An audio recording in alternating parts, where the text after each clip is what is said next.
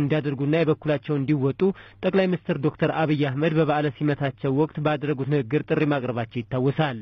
ይህን ተከትሎም በቅርቡ በሰሜን አሜሪካ የተለያዩ ግዛቶች የውይይት መድረኮች ተዘጋጅተዋል። ይህ በሀገሪቱ ታሪክ ኢትዮጵያና ትውልደ ኢትዮጵያውያን በሀገር ቤት ያለውን የለውጥ ሂደት ላይ የጋራ መግባባት ለመፍጠር የሚያስችል መድረክ ጠቅላይ ሚኒስትር ዶክተር አብይ አህመድ ማድረጋቸው የመጀመሪያው መሪም ያደርጋቸዋል።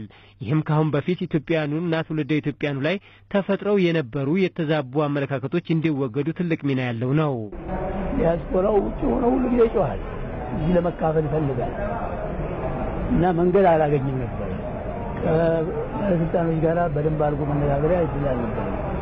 አሁን እሳቸው መጥተው የሀገሩ ሁናቴ አስረዱ።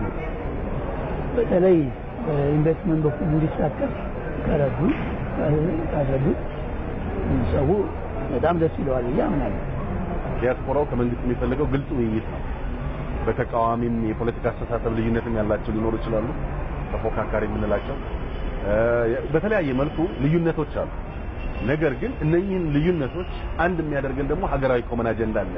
ድህነትን የማጥፋት የዚችን ሀገር እድገት በጋራ ሆኖ ማፋጠን የሁሉም ኢትዮጵያዊ የ common አጀንዳ ነው። ስለዚህ በዚህ common አጀንዳ ላይ ግን ጠንከር ያለ ውይይትና ዲያስፖራውን ያሳተፈ እንደዚህ አሁን እንደምንሰማው አይነት መድረክ ተፈጥሮ ተመቻችቶ ማያውቅ ጥሪው የወንድምነት የአባትነት እና የህዝብ መሪነት ጥሪ ስለነበረ 99 ከመቶ እስከ መቶ መቶ percent ም በጉጉት የሚጠበቅ ጠቅላይ ሚኒስትር ዶክተር አብይ አህመድ በጀመሯቸው አዳዲስ አቀራረቦችና አስተሳሰቦች ኢትዮጵያውያኑና ትውልደ ኢትዮጵያውያኑን በአካል ተገኝተው ማነጋገራቸው ከሀገራቸው ጋር ያላቸው ትስስር ይበልጥ እንዲጨምርም ያግዛል። ኢትዮጵያዊ ውጭ ይሄዳል እንጂ ኢትዮጵያዊነቱ አይጠፋም አሉ። ማንኛቸውም የውጭ ሀገር ፓስፖርት የሚኖረው ልቡ መንፈሱ እዚህ ነው ያለ።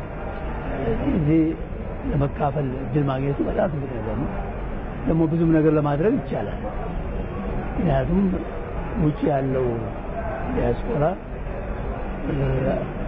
ሙያም አለው አቅምም አለው።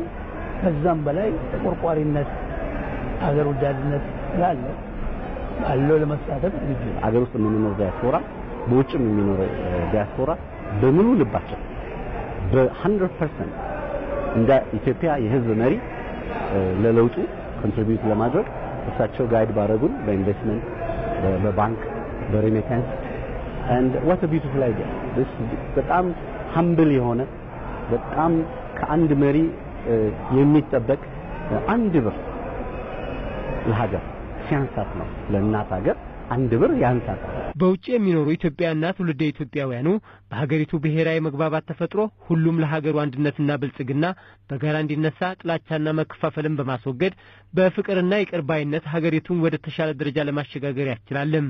ከንግግር ያለ